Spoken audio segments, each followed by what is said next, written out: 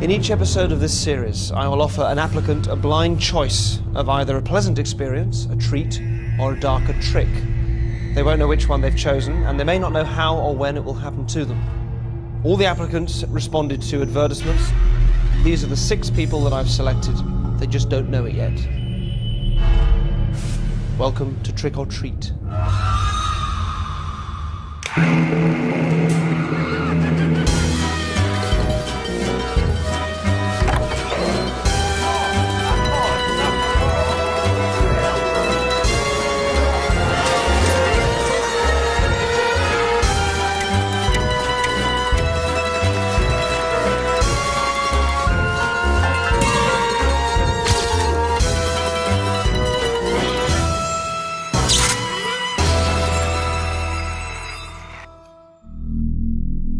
Tonight's applicant is Richard, a 20 year old student from Wolverhampton. We've been observing him for the last few weeks to build up a profile and to monitor his movements to and from his flat. He lives a quiet and predictable life, which might be fun to shake up a bit.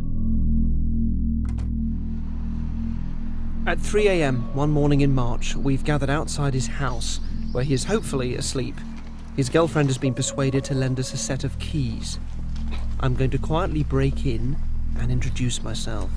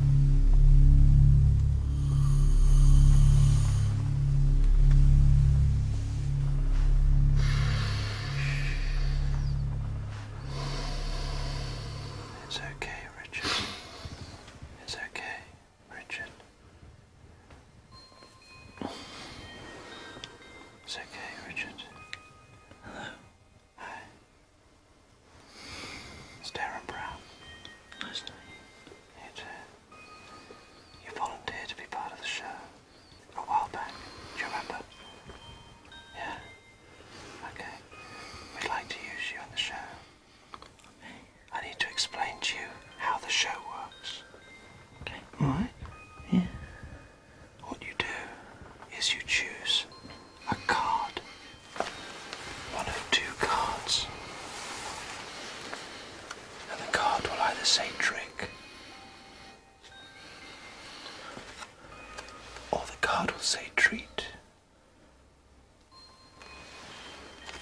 If you pick the card that says treat, then what happens to you will be something nice. If you pick the one that says trick,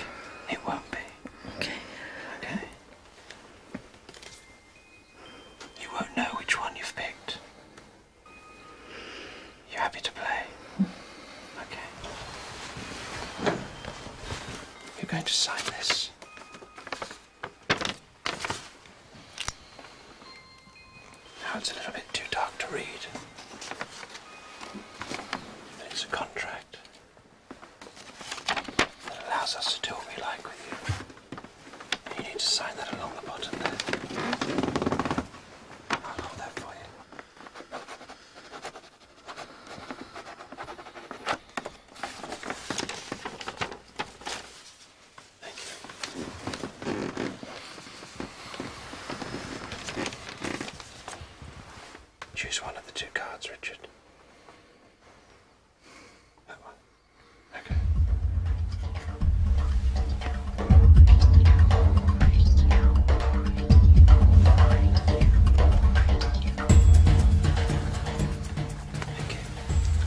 Back to sleep. For Richard's trick, I'm going to have him collapse asleep in London and wake up 1500 miles away in Morocco with no explanation. And for that, I'll need his passport. He will have no memory of the journey or of any time having passed.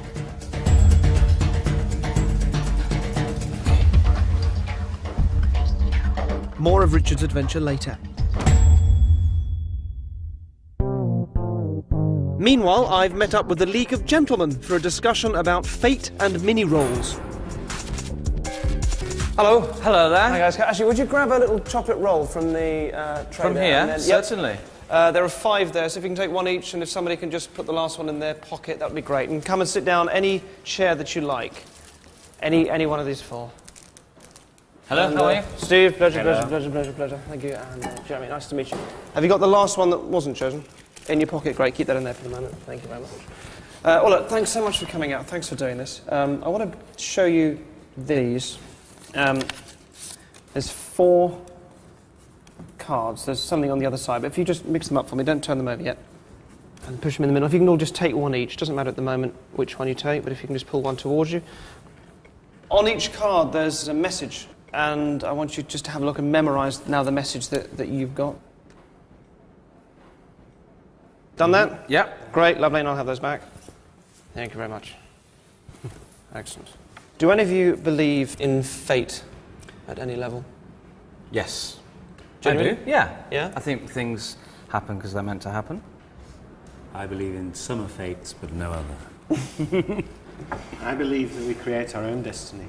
Oh, you've got to come up with a different oh, belief no, system no. now. No, no, no, no, no, gen- genuine, genuine. Genu- I know, I don't, you I don't and do comical answers to it, but I, I think, yeah, I, yeah, I think I agree with Steve. I think you do. Your instinct often leads to exactly where you're meant to be. You superstitious fools. It's kind of about it's about decisions, isn't it? Decisions that you make without sort of realizing even that you're necessarily making decisions. And it's only in hindsight you go, "That I suppose if I hadn't, you know, hadn't walked that way or gone to that party or met that person." Um, a bit like, for example, the chairs that you sat in. I sort of made a point of saying sit in any chair, and I presume you weren't thinking particularly about which chair you were going to sit in before you sat down, or the choice of the cards that you picked, which again I told you not really to think about it and just take them, and they all had a message on. Um, what was the message? What was your What was your message? Uh, the, it was a colour. It said, I will choose blue. I will choose blue. Have you Yeah. any idea what that refers to? Um, blue's my favourite colour. I'm wearing a You're blue wearing a blue shirt. shirt. Perfect. The mini rolls are blue. It actually doesn't refer to any of those things. It refers to uh, a sheet of card that's underneath the cushion on your chair that you're that you're sat on. And if you pull that out, you have to reach Okay. under the cushion. Under the cushion. Yep. Da da da. a blue sheet of card. And uh, what did yours say, uh, Mark? Uh, I will choose green. Pull it out. And the card. And it out. Very good. Jeremy, just to see where this is going. Jeremy, yours said I will, I will choose yellow. choose yellow. That's right. Take it out for me. Which leaves you with the red. I Red. believe. Excellent. So you see what I mean. And they're kind of decisions that aren't important, but you make them without thinking about it. And this is kind of an area that I find interesting. And it's also the good or bad consequences that you can avoid, or things that you you never knew would have happened had you made different decisions. And this, for me, this goes back to, and this is why the chocolates actually uh, uh, do play a role. When I was um, about 10, I was in a supermarket queue with my mum, and she bought these, not these particular ones, but uh, you know, hasten to add, and uh, I was petitioning her to open them and eat them before we paid for them, and she was getting a bit angry with me, a bit stressed, and in her annoyance, sort of ushered the lady behind us to come through ahead of us in the queue because she only had, you know, milk or something. And then we all paid for our stuff, and the woman went out. We went out. When we went out, the, there was a crowd that was gathered in the car park, and this woman who we'd allowed ahead of us had been hit by a car, and she was laying on the, laying on the car park. And um, so at the age of 10, I'm then going home thinking, God, if I hadn't have wanted to tuck into those mini rolls, my mum wouldn't have let that woman go ahead, and would it have been my mum that got hit by the car? And you start to kind of do those, to do those things in your head. Um, hence the mini rolls. Would you, and, and carefully, if you don't mind, would you just open them and uh, try not to break or touch the chocolate and just sort of um, put them on the plates? Thank you. Lovely, thank you. And again, did you think about which ones you took? There were five altogether, weren't there? So you've got, Jeremy, the last one in your pocket. But otherwise than that, you just sort of grabbed. You just grabbed one. Random. And you presume that they are indeed mini rolls. They look like mini rolls. They do, don't they? It could be razor blades. Could be. Yeah. Why don't you just take a take a bite out of them?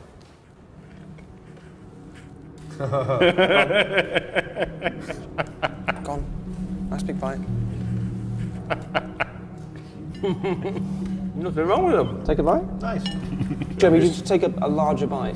There's a fish hook inside. Oh, Oh, What's that? What is that in there? what? There's something in there. No, it's just sponge and cream. That's it. just the way he was eating it, he made it look like it was. properly, Jeremy. Hey, Look at this mess. Yeah. No, that's fine. That's great. No, they, I, that's what I was Then- hoping for. Excellent. So the last one, there was one left. You put one in your pocket, didn't you? You pull that out? Now look, um, you need to really carefully, Jeremy, just undo that, and just so we don't confuse them. Don't Just pass me your plates. Get, Get rid of that. get that out of the way. Okay. Okay, just on there. All right. Mhm. Why me?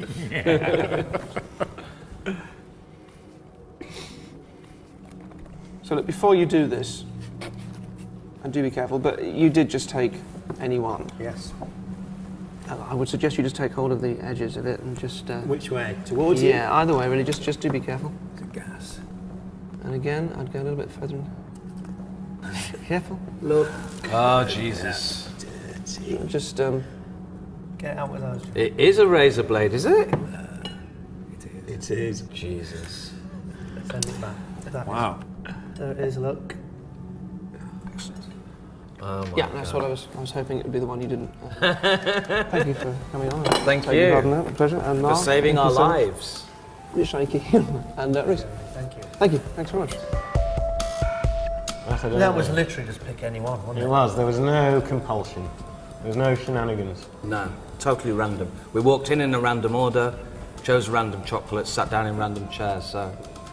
And also, you'd have ended up with two and you just picked I know. I could have changed my mind at the last minute. And all sealed up and then within it. How, that's the thing. How do you get? How do you get it in there? What it's How do you get it in there? Don't know. I mean, and what? It's slightly irresponsible. Derren Brown Bakery. I knew it. Since Richard picked the trick card, I now have license to shake up his regulated world. He's going to wake up in Marrakesh, somewhat outside his comfort zone, and this journey starts here. He's catching an early train to Waterloo, and we know he needs to get some passport photos urgently, so we're hoping he'll take the bait and step into the fake photo booth that we've set up. All the cameras are hidden.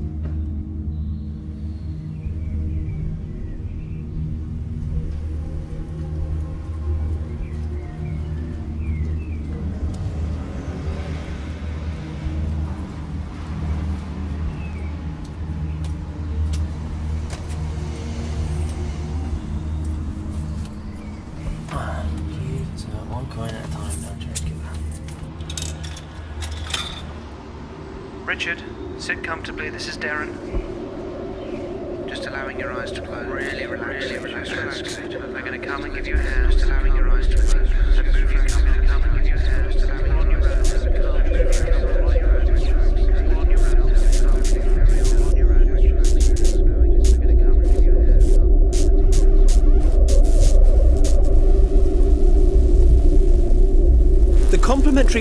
Of light and sound are designed to send Richard plummeting into a catatonic state.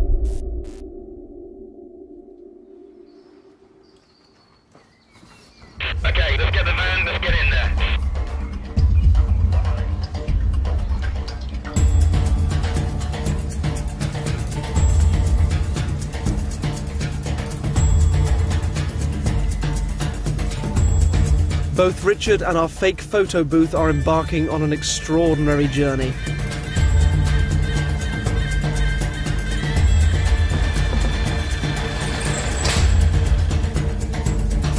Now, I don't know how long he will remain asleep for, but for the first half hour or so, I talk gently to him to keep him in this state. We arrive at Heathrow Airport a bit late and apprehensive about the check in. As it turns out, we get through check in and security without a hitch, but the authorities don't allow filming after passport control. However, we do take a series of snaps throughout the journey. Any recognisable faces and logos are blurred. Richard is now sleeping very happily with no help from me.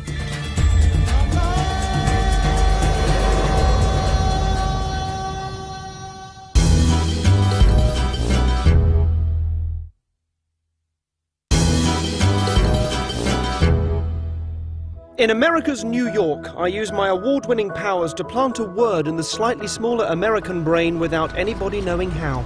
Guys, you're free for a couple of minutes? Do you want to come and do this? Sure. It's a kind of a mind reading uh, Okay. sort of experiment. Um, I need you to call somebody that you know. Okay. All right. Uh, does your cell phone have a, a speakerphone? It does. Excellent. Good. Do you want to get someone on? Is there someone you can call? You think will be in? Right. What's this person's name? Joe. Okay. Well, if Joe isn't in, we can try someone else. Yeah.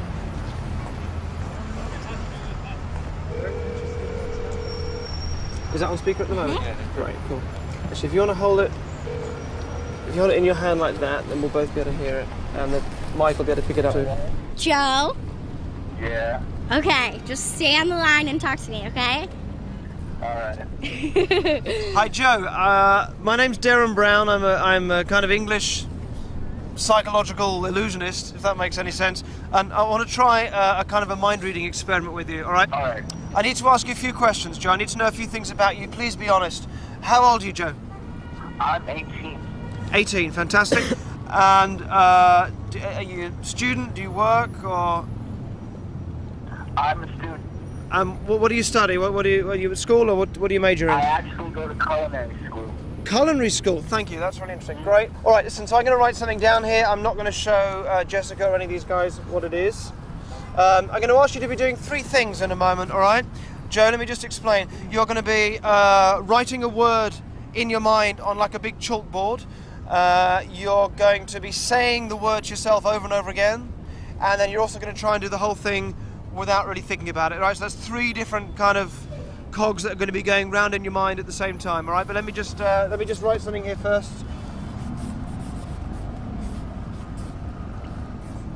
Okay. Okay, cool. Joe, I need you to imagine that you are, uh, you know, six years old back in elementary school, all right? And imagine you're picking up a piece of chalk. Okay. Then you're going to start writing a word very large and clear on this chalkboard, and then just tell me when you're done. Alright, I'm done. You're happy that was a, a free choice of word, yeah? Yeah. Yep. Absolutely.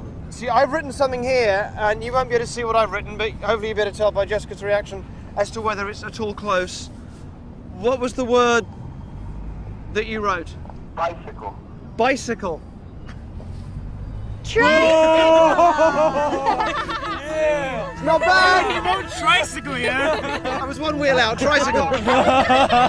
Thank you, Joe. Thanks for your help. Thank you very much. Cool. Thanks, Joe. I thought he was gonna be completely wrong and it'd be like a complete sham, but then like you got tricycle. I'm pretty amazed actually. I think he's psychic. Like, there's no other explanation for it because how else would he know it?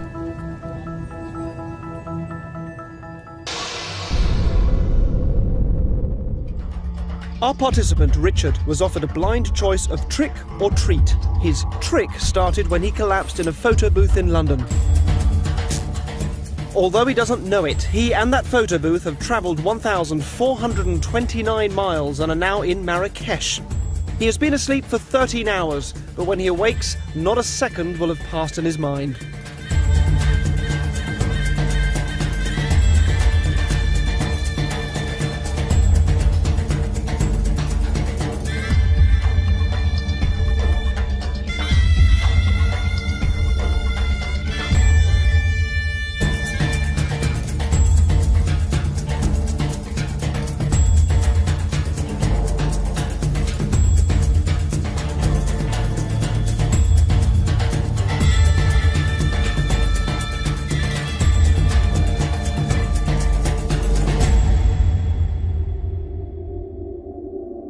Whilst he was asleep, an anonymous envelope containing his passport, his return flight details, and some money were placed in his pocket.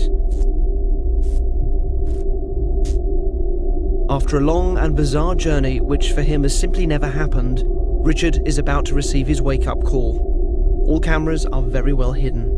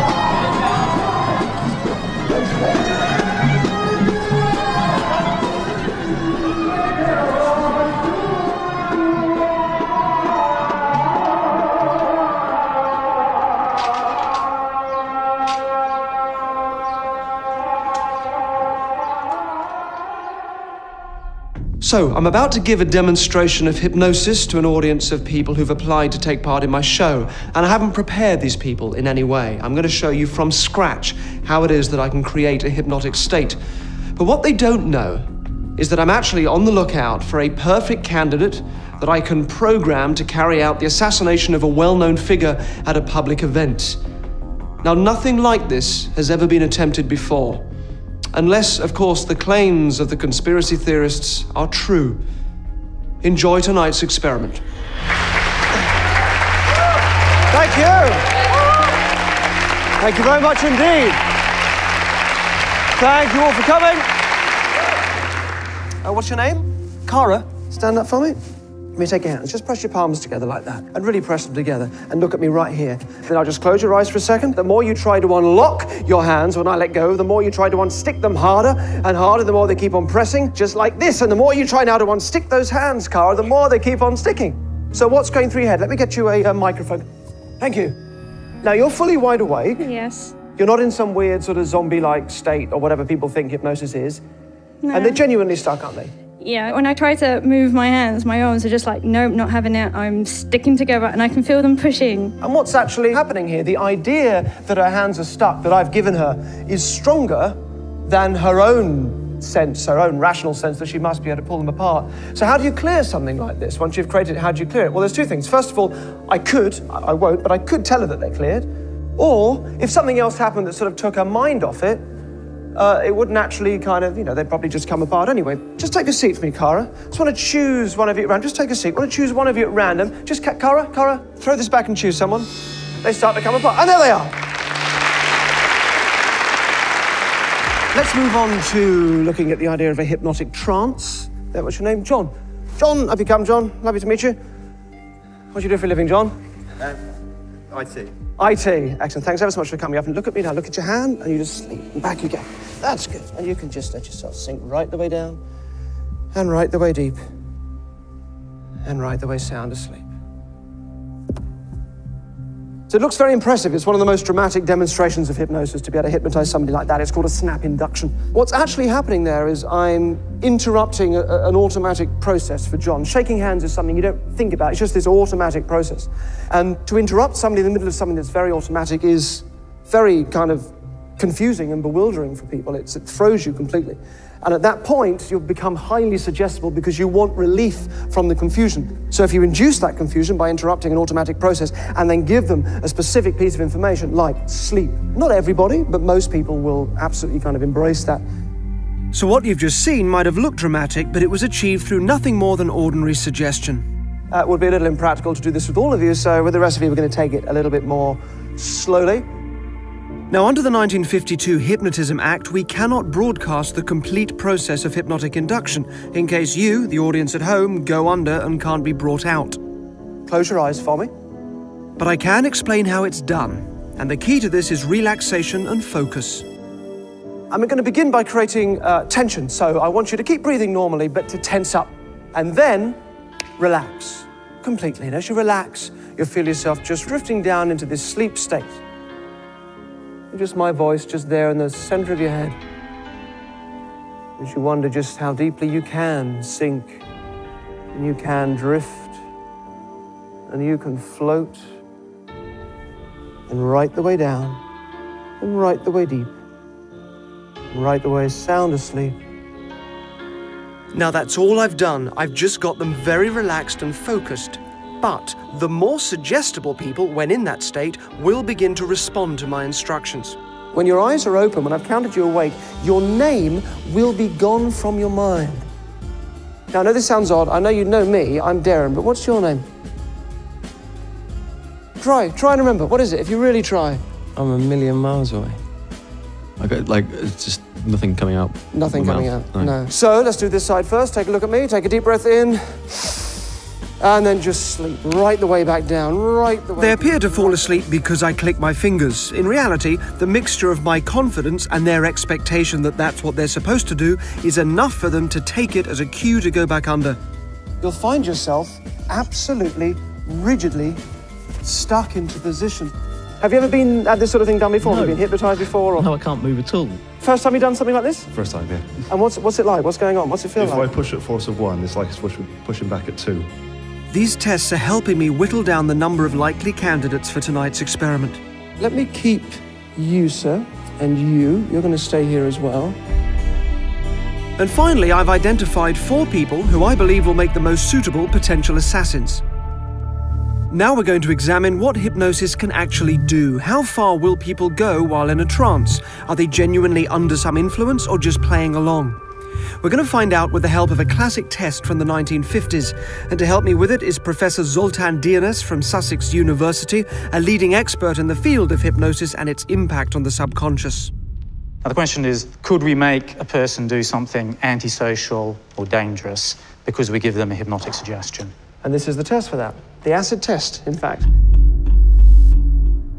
This chamber contains a foil wrapped mannequin's head, over which a technician will pour highly dangerous hydrochloric acid.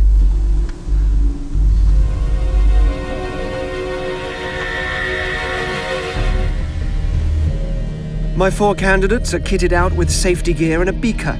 I'm going to ask them to throw acid in someone's face. This exercise will show whether hypnosis can make you do things you wouldn't do if you were just playing along. If the subject is playing along, he won't throw the acid and he certainly won't carry out an assassination. Sleep. You can stand and sleep quite comfortably. Sleep. That's very good. Sleep. That's lovely. And sleep. You can stand and sleep quite comfortably. Excellent. Very good. In a little while, when you've woken up, we're going to put some hydrochloric acid in each one of those beakers. In front of you is an individual, a volunteer from the audience, we're going to call your target. And when you're awake, after a little while, uh, you will see a blue and white polka dot handkerchief. As soon as you see the polka dot handkerchief, blue with white polka dots, you will throw your beaker of acid into the face of the target stood opposite you. If that makes sense to you, I want you to nod your head if you understand that, if it makes sense. Excellent. Good. Without the candidate's knowledge, we've switched the acid for water, and they're now awoken. Eyes open, wide awake. Thank you. Lawrence, uh, if you can please take some of the acid and uh, give them each a dose in their beaker. Excellent. Good, excellent. So, Professor, how long have you been uh, working in this in this field for? Uh, I went to uh, Sydney in the mid 80s for my master's, and uh, there was masters by research. And my research was hypnosis. So that's oh, when sorry. I. Could you hang on just a, just a second? Excuse me.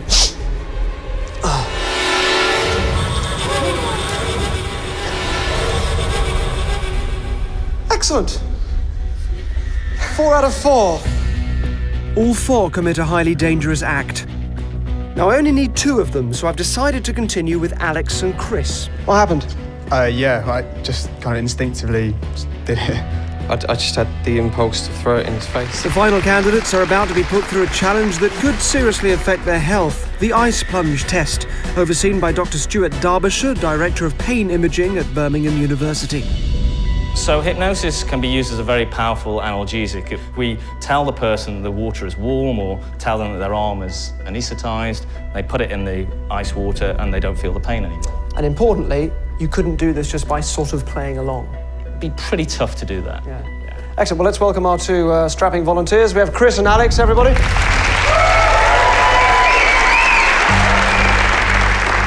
With the water temperature approaching freezing levels, Alex and Chris can only keep their arms in the ice bath for just under seven seconds.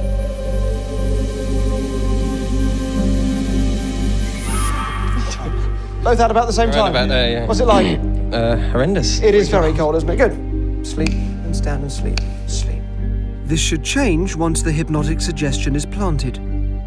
Completely comfortable. You had to lower your arm in, hold it there as long as you like. You simply will not experience any sensation of cold. It'll be completely comfortable, feeling just a lukewarm room temperature sensation.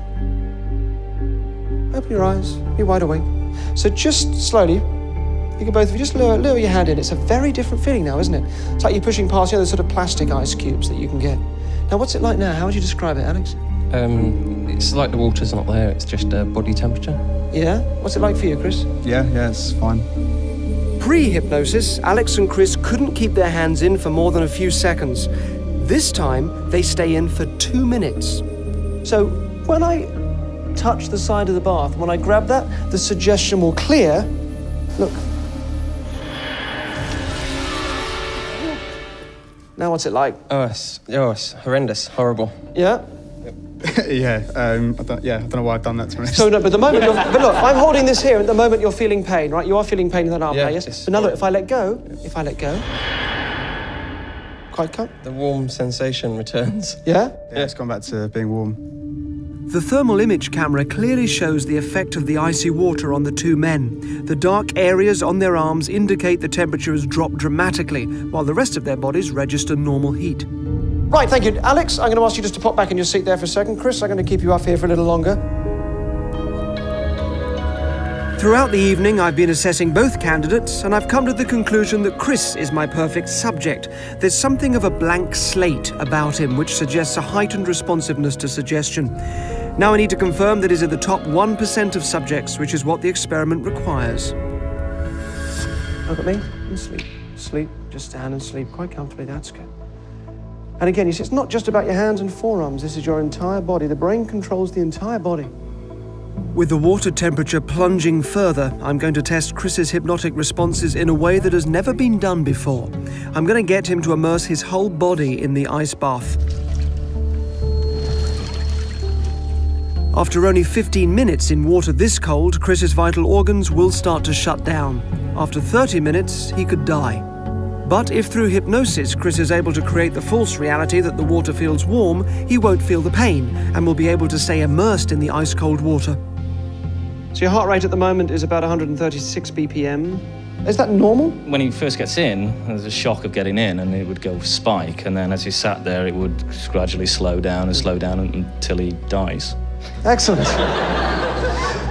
To ensure his safety, a team of paramedics is standing by. So just slowly take all the time, just so it's nice and comfy. Just pop yourself down. And control the breathing. Just breathe in and out and just take your time.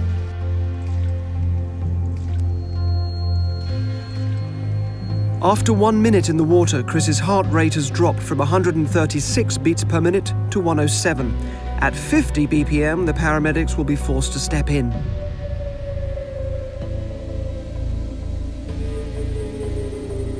Okay, we're going to bring you out, but before we do, what's that like at the moment? Awkward, like, like Awkward this. position, but But uh, but apart from that, yeah, it's fine. absolutely fine. The water is now 1.4 degrees away from turning into a solid block of ice, and his heart rate has dropped to 85 BPM. He's clearly very capable of dissociating himself from the freezing temperature. The test is a success. When I grab the side of the bath, the suggestion will clear. At the moment, it's completely comfortable. And watch what happens when I touch the side of the bath.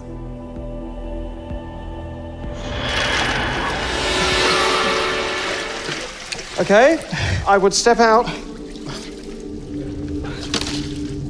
We're going to wrap you up and get you into a special thermal tank that will just bring you back to a normal temperature. Thank you so much, Chris. I think we've probably found our best subject by far this evening. Well done. This is an experiment that hasn't been done before, Chris, so you've uh, just made hypnotic history there. Well done. Chris, everybody, let's hear it for Chris. So it seems I found my trainee assassin. But do our experts think training a killer is even possible? We talk about the acid test just for a moment, uh, which really interested me. It looks very dramatic. Four people just throw acid in the face of other people. But of course, this isn't quite real life in this sort of situation, is it? That's exactly right. Because this is a TV studio, part of the person will infer that this is safe. What about the kind of CIA stories of programming somebody to become an assassin and go and kill somebody in real life, not in a sort of mock up situation, but in real life? Would you expect that to happen? No, we have good reason to think that people would not do that. These are just myths. I mean, the only way you would get somebody to do that if they're already predisposed to do that. In other words, if they quite like the idea of killing somebody, then you give them permission to do it. If there was no sign of that, just a regular guy? No, no, you can't get a regular guy to go and kill somebody for no reason. Fantastic. Thank you very much indeed. You're welcome. Thank you so much. Thank you both for coming along today. Excellent. Cheers. So the academics seem pretty certain that what I'm attempting here is unachievable. Uh, and it may be. It, it really may be. The whole point of this is to find out whether or not it's, it's possible, so only, only time will tell. If this experiment is to succeed, neither Chris, a sports marketing executive, nor his family and friends can have any idea that I'm going to try and program him into becoming an assassin. As far as they're all concerned, he's simply taking part in a show that explores the limits of hypnotism. We talked to the people closest to him and slipped in some questions about violence. He's a very peace-loving person, so I can't imagine him being violent in any sort of way. I don't think Chris would do anything bad to anybody. Um, ultimately, I don't think he'd hurt a fly. Interestingly, this is what the younger brother of Bobby Kennedy's killer, Sirhan Sirhan, says about the convicted assassin's character prior to the murder. If we were sitting here and a fly happened to venture in, Sirhan would open the door, you know, and he'd try to make it go out again. It's just not conceivable to me that he would take a gun and actually use it against a person. In order to condition Chris to become an assassin, I'll be using brainwashing techniques allegedly employed by the CIA's MK Ultra program in the 1960s. There are two key stages to this process the marksman mode and spontaneous amnesia. Eyewitness accounts report that Robert Kennedy's assassin, Sirhan Sirhan, was in a trance like state during the shooting. Under hypnosis, the convicted killer has since said that he thought he was firing at a target in a rifle range and not at a human being. He claims a mystery woman in a polka dot dress pinched him on the shoulder to send him into this range or marksman mode. I'm going to try to create a similar mode for Chris, which will come into play if and when he attempts to assassinate his celebrity target. So I've brought him to a rifle range just outside London to meet Angie, an independent firearms instructor. So the point of today is to see how hypnosis can improve um, marksmanship and your your your aim. Uh, have you ever done anything like this before? Um, not really. Not really. Um, bit of paintballing. Oh, okay. Well, this is a bit of a step up. This is a lever-action rifle, such as every American child is is, is issued with, uh, and we are using live rounds here. Yes, we are. Because Chris has never fired live rounds before, he's getting a safety briefing and an introductory lesson in how to shoot a gun. He starts with the Winchester 38 caliber lever action rifle. Rack down. That's it. Right back there. That's it. And a nice gentle squeeze. Back at the side.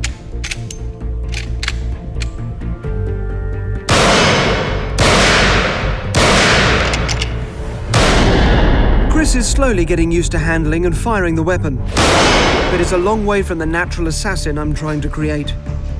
Um, not very good. On his first attempt, Chris completely misses the bullseye. You've, you've lifted the front sight and it's reacted and brought the bullets higher. Okay. Chris believes we're here to improve his aim through hypnosis. Just take a deep breath in, and then just go back into that sleep. And you bring the gun up, a breathe in, and then a comfortable, steady breathe out. And it's on that out breath that you squeeze the trigger. His aim may improve, but more importantly, I'll also be creating the marksman mode he needs to slip into during the assassination attempt. There's a mode that you move into, and we'll call it the marksman. It's almost like a personality within you that you move into when you bring the gun up. And your unconscious mind will allow you to do that with the focus and relaxation and concentration of that experienced marksman. Next, I'll need to implant an audio trigger that, once set off, will automatically put Chris into marksman mode. So, this is the sound. It's going to lodge itself very deeply into your unconscious. So, whenever you hear that sound, whenever you hear that ringtone, your mind will shift to this marksman state. And then, as you feel it take you over, as you feel everything just moving into place and everything settling, when you're ready to give yourself that final bit of focus, you bring your finger up, you can do that now, touch yourself on the forehead, and then you become the marksman. That's very good. Will my suggestions have an effect on Chris? Now, as you do this, or maybe before you pick up the gun, I want you to trigger trigger the state, which is your right finger on your on your forehead, and then go into it.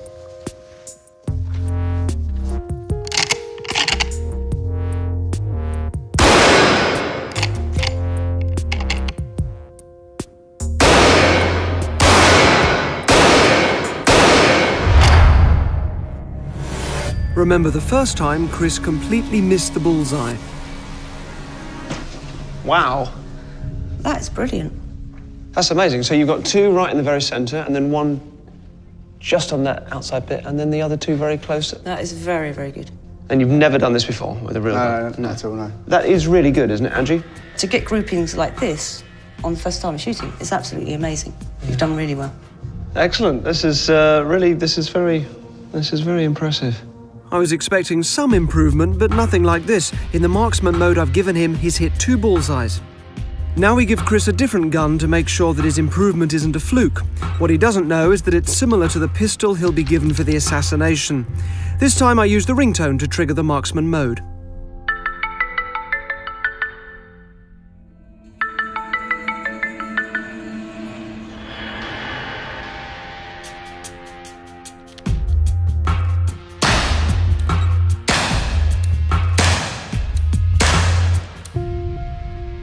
So before, the most you'd ever got was two in the centre, and that's four in the centre.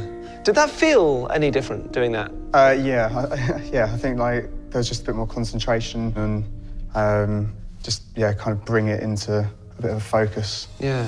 Um, yeah. I didn't expect that result at all. There's no way.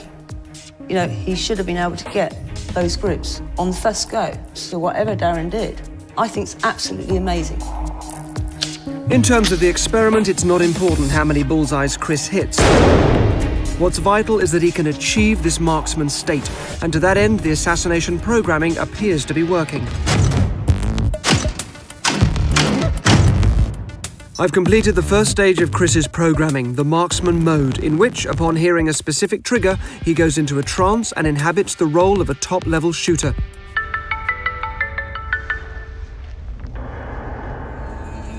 Each time he enters the marksman mode, he should believe he's back at the rifle range. I want to make sure this happens, so I brought him away from the gun range to this warehouse building to repeat the test. What was that like? Where were you? What was your experience of doing that? I found it quite easy to actually go back as if I was there um, at the at the range. Like a lot of my, my smells um, and the, the kind of sensation of bringing the gun up was was just like just like actually doing. Yeah, okay, that's fantastic. that's exactly what I wanted to hear from you. Good.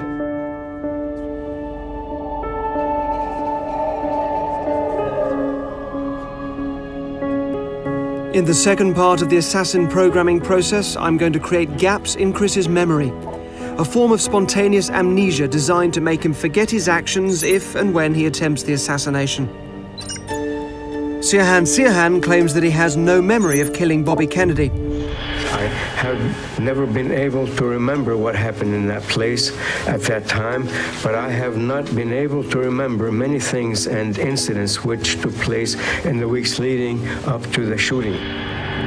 In March 2011, he was denied parole for the 14th time because he hasn't shown enough remorse or taken full responsibility for the crime that he says he doesn't remember committing. We note with, with some degree of um, distrust, quite frankly, you remembering parts of this and not remembering others. Do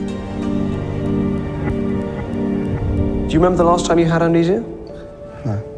It's, it's an odd question, but it's, uh, if you think about, for example, when you drive home, do you drive? Yeah. Yeah. So have you had that experience of driving in a car when you, you perhaps you're taking a familiar route home that you've taken many times and you get home and you can't quite remember Yeah. taking the journey? I mean, these are quite ordinary everyday experiences, but you know that feeling. Mm, yeah. Good. I want to show you how you can create that and also to be able to go into the trance with your eyes open. I want you to look at this pattern. And as you look at that, I want you to go into the trance, but keep your eyes open. You will have absolutely no memory of anything that occurs during the time that you're in the state. And whenever you see this polka dot design, whether it's on a screen like this or on a handkerchief or anywhere, you will move instantly and comfortably into this trance state.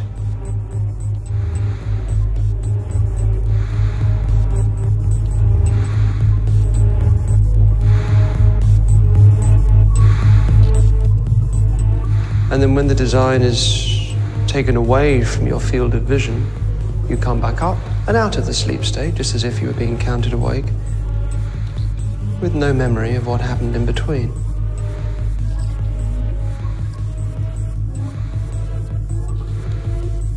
So you can look at the screen for a bit there, and then you can stop looking at the screen. How long were you looking at the screen for? Uh, 10 seconds. 10 seconds. Oh, that probably is probably about right, isn't it? S- Stand up for me. Just come and stand about there. Uh, your PIN number that you use at the moment, do you use it for loads of things, or is it just for getting cash out the machine? Mainly just, yeah, just, just my cash machine. Okay. So if I was to tell you your PIN number, if I could work that out from you, you could actually you could go and change that, and it wouldn't be a huge deal. It's not you're not upsetting a million other things that you use the same number for. No, not particularly, no. Okay. All right. Good. So you're happy for me to do this if I if I can get it? Yeah. Yeah. Okay. All right. Think of your PIN number. You got it? Hmm? Just think of the number. And obviously, you wouldn't have told anybody what this is. No, that wouldn't make any sense. So just think of the number. Good. That's good. Say the number. 1054. Good. Just think of it. Visualize the number. Imagine yourself at the machine. Look at me. One. Yeah. Zero. Yeah. 1054. Is that correct? Yeah. Is that your PIN number? Yeah. Good, I was pleased I got that right. I was, I was going to get that wrong. PIN numbers are difficult. Thank you very much for today. no problem. Excellent. It's been a fun morning. Thank you. Yeah, it's quite strange that he knew my PIN number because I don't tell anyone. It's not like he could have asked someone who knew. Um, I haven't told him, I haven't written it down anywhere. So I, I, I, I baffled, I guess. I don't know how he, he worked it out. Chris was doing well, so after a long afternoon, it was time to unwind and have a chat. Good shoes, by the way. You always seem to wear really good, really good shoes. They're, uh, Thank you. yeah, that's just impressive. I like shoes and very good shoes. Thank you. Um, I used to be a pickpocket when I was younger. Okay. And um, I used to steal all sorts of things from people and uh, used to take people's watches. There's a way of basically, as you sort of talk to somebody and uh, take hold of their wrists and so on, you can you can remove a watch from their uh, from their wrist, uh, and ties and all sorts of other things, wallets, obviously. Um, and the most um, the most impressive thing that I used to steal from people when I when I was a pickpocket, only for entertainment reasons, was people's shoes. This is how I sort of got into liking shoes, I guess. And uh, would you just sort of don't, don't look at your shoes at the moment. I don't want you considering too much how obviously well they're tied up and everything. But how do you think that I could just steal your shoe from you without without you realizing? Uh, no, not really. I, I mean, I guess somehow because it's, it's your Dan Brown, but no, not really. Appreciate your faith, but it would seem impossible, wouldn't it? Because you're stood on them. A watch, you can maybe imagine I could sort of move you around a bit. But, um, or what if I told you that actually I'd already stolen your shoe? What? No, how? What's happened? Good, isn't it? Were you aware of me doing that? No, no, not at all. No, I don't, I don't know when that's happened. Because that was just on there a few seconds ago, wasn't it? Yeah. You've no memory of me taking that off you. You don't didn't feel anything. No, the only the last thing I can remember is when you just pointed at my shoes. Yeah. Mm. Yeah. No, it's gone. So no idea, no idea where it is. I've hidden it somewhere. No. I put it in uh, the I put it in the bread bin just there. Go on, take it out. I'm, I'm very quick. It's a kind of a speed thing. But honestly, honestly, honestly, you have no you had no conception of me taking that off you. No. No, not at all. I'd put it back on. It takes a while to do the laces up. So let's back it up and see exactly what's happened there. Just sleep, just sink down into that sleep state. That's very good. When you see the polka dot design and enter that trance state, you will remove one shoe. You will put it into the bread bin. I used to be a pickpocket when I was younger. Okay. And um, I used to steal all sorts of things from people and uh, used to take people's watches. There's a way of basically, as you sort of talk to somebody and uh, take hold of their wrists and so on, you can you can remove a watch from their uh, from their wrist, uh, and ties and all sorts of other things, wallets, obviously. Um, and the most um, the most impressive thing that I used to steal from people when I when I was a pickpocket, only for entertainment reasons, was people's shoes. Chris is reacting perfectly to the trigger and appears capable of the amnesia required to make this experiment a success. Now that I've taken Chris through the key processes required to brainwash him into attempting a public assassination, I need a dry run to see if the experiment will work at all in real life. I'm taking Chris out to dinner, but he'll have no idea he's being filmed by cameras hidden throughout the restaurant. So what's the most uh, what's the most sort of outrageous thing you have done? The, uh, the bungee jump was the most petrifying by a long way. I, I've done two now, but you're walking under a bridge. I hung up like just a metal grid on the bridge, under, underneath the bridge. Sorry. Um, so that was much worse than the actual process of jumping. It is. It was quite strange.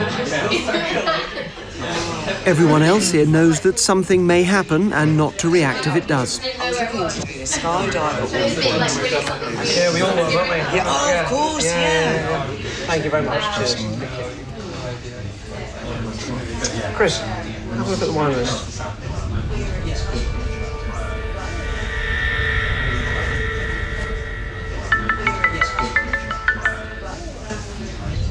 This is the first true test to see if the training is working. Will he complete the task I'm about to give him?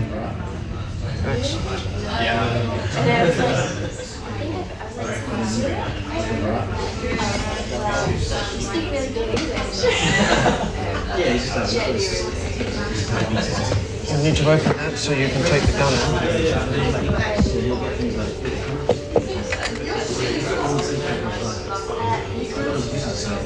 Now your target is the guy sat almost behind me, just to the side with the blue and white check shirt.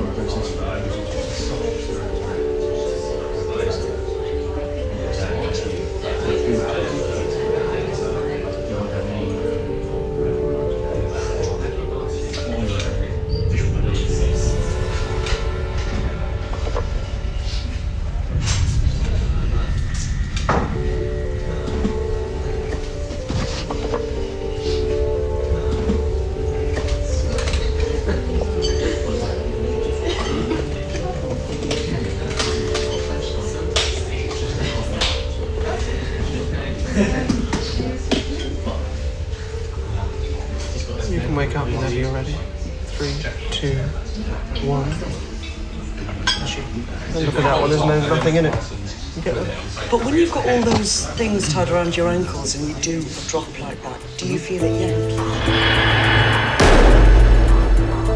In order to find out whether Chris really did pull the trigger without having any knowledge of his actions, I've arranged for him to take a lie detector test, run by the UK's first polygraph examiner, Bruce Burgess.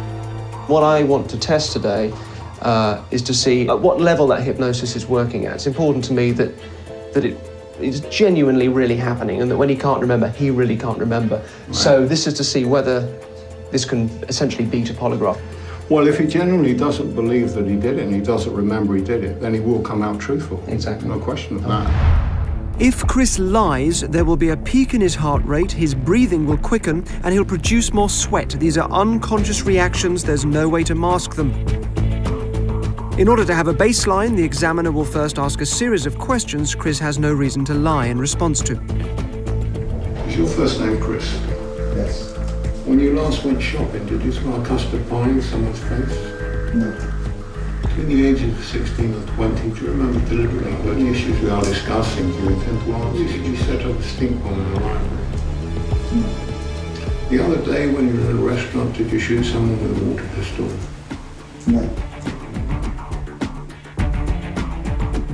So you had a chance to interview Chris. What's your conclusion? Generally, I do not believe that he knows that he squirted that water pistol. I don't think he had any recollection of that at all.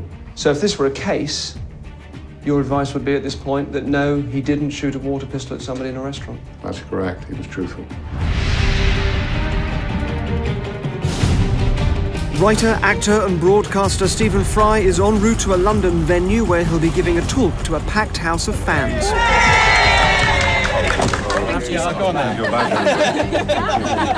I'll see you later on. Thanks very much. Two things need to be in place for this experiment to genuinely answer our question. First of all, Chris has to believe that the gun that he has in his possession is a real gun and loaded with live bullets. And secondly, he cannot know that he's being filmed. As far as Chris is concerned, this has to be a real life situation. We've told Chris we need to film with him and Stephen Fry later tonight after Stephen's talk, and we've suggested that he might as well stay and hear the talk as well. He doesn't know we're filming. I am going to have to head back to the office now, which is really annoying.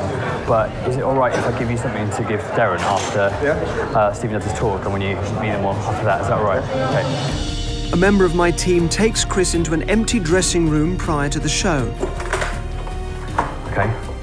Okay. This is really important for you to know. Yeah. This gun is loaded with three bullets. So don't touch it. Yeah. Keep it with you until you see Derren and Stephen after Stephen's finished his talk. Okay. The thing is, I know you have it, but whatever you do, don't lose it. Meanwhile, his celebrity target Stephen Fry prepares to go on stage. Special effects experts insert fake blood packs into his jacket in case Chris does pull the trigger during his performance. A few minutes before Stephen's talk begins, Chris takes a seat in the auditorium, unaware that hidden cameras are filming his every movement. The people surrounding him, who include security guards and firearms experts, know about the experiment. But the rest of the audience is here just to see Stephen Fry and has absolutely no idea of what could happen. After 17 minutes, he'll get his first trigger. What happens afterwards will determine whether this experiment succeeds or fails. Thank you all. Good luck, everybody. So, ladies and gentlemen, please give a massive warm welcome, Mr. Stephen Fry. thank you. Oh, thank you. How very kind. Thank you. Oh, my goodness. Thank you very much. Thank you. Thank you so much. You're very, very sweet. Thank you for coming. It's incredibly kind of you to come to this. Uh, this little event. I, I wanted to talk about an enthusiasm um, that has consumed me without me knowing it almost all my life. You'll understand why I say almost when I tell you about it. Um, what I'm obviously thinking of is language. A few evolutionary things were necessary for mankind to speak language, but once we had language, then everything else followed. It is absolutely the spring of all we are. In our culture, we keep certain words in, in, a special place in our brain. But I remember going to the Turkana people in northern Kenya. Kenya alone has 69 languages. And the Turkana people speak one which is related to only one of the other 69, the Nilo-Hamitic language. It's, it's a beautiful language, it's rich, it's like English, it's full of, oh, there's always one, isn't there? God bless her. Thank you. Well done. Amazing ideas, brilliant concepts, but, but, but, but it's been swamped. It's been swamped by Swahili. That's the problem, you see. These other languages like Swahili are swamping Africa, just as English is swamping Europe and the world and the internet, and Mandarin Chinese is swamping the Orient.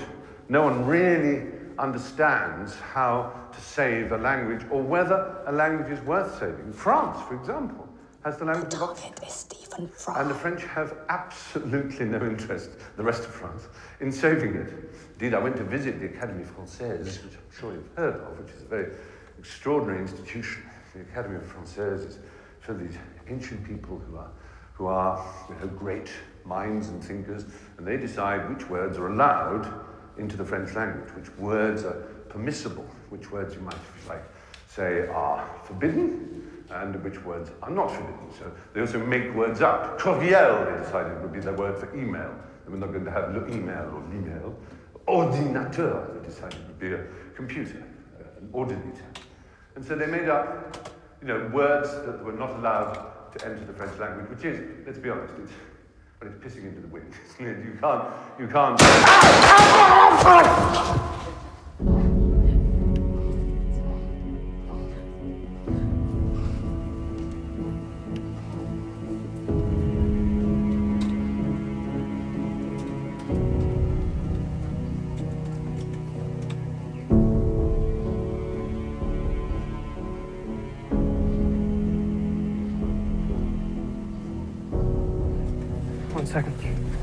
Stephen, happy get? Oh, good. Well done. Phew. Yeah. Here we are. Oh. You're going to change your jacket. Thank you. Thank you. Um,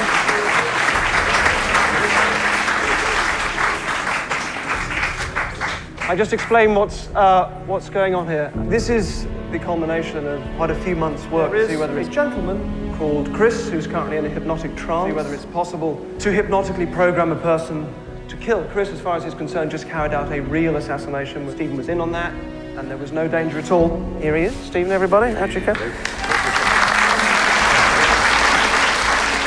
I'm talking to you now, Chris. So I'm now going to count you away. Three, two, one. Turkana is just one example, as I said, 69 Kenyan languages. Swamping of language is a kind of tragedy. In the end, what I want to concentrate on more than anything else is language as a source of pride and beauty. All of you have language in your head. I hope you go out into the world a little more amazed.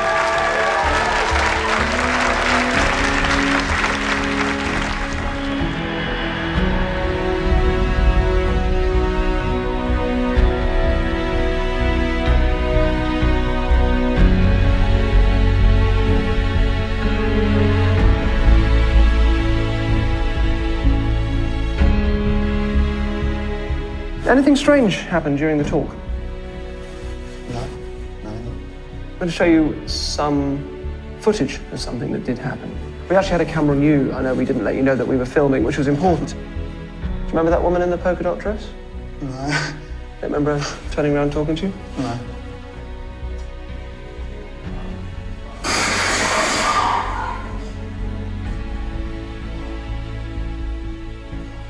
Remember that bit? No.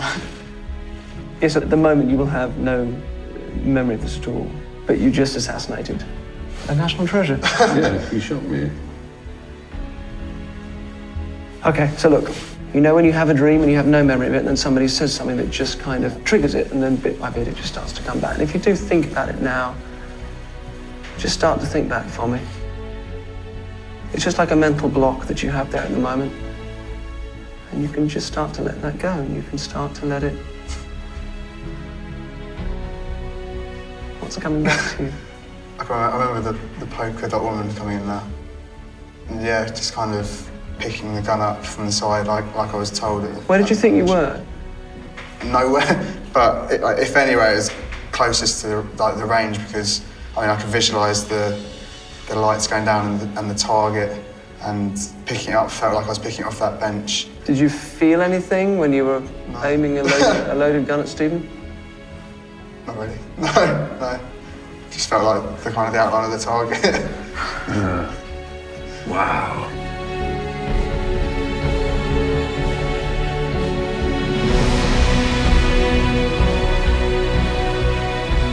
It was like a dream that you could really visualise, but it's a dream which is so far-fetched you know it not to be true. So you will not be responding anymore to the polka dot design that you've been